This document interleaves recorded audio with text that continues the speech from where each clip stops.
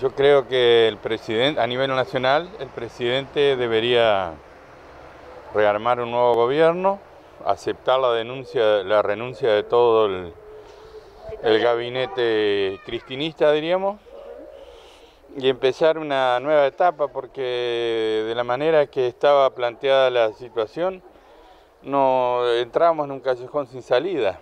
Ellos saben lo que tienen que hacer con estas lesiones que le, con la paliza que le dieron, ¿no?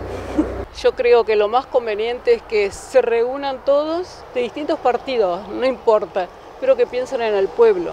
En este momento la sociedad está pasando mal momento.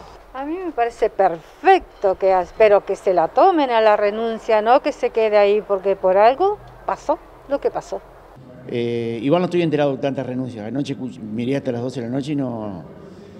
Hubo amague de renuncia, igual de Pedro creo que renunciaba. Y bueno, y mientras estemos con, con, esta señora dando vuelta, me voy a jugar, no me interesa. Esta señora dando vuelta en el país, vamos a seguir así, de mal en peor. Tienen que siempre pensar en, no en darle, darle plata a la gente, no.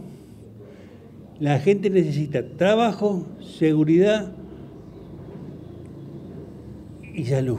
Eh, espera que vamos a aprender entonces, sí. Me parece que es este, un, una medida que el gobierno quiere tomar por el resultado de las elecciones.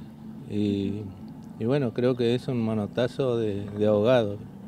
Ajá. Básicamente sería eso. ¿Y las renuncias en el gabinete? ¿Qué le pasa?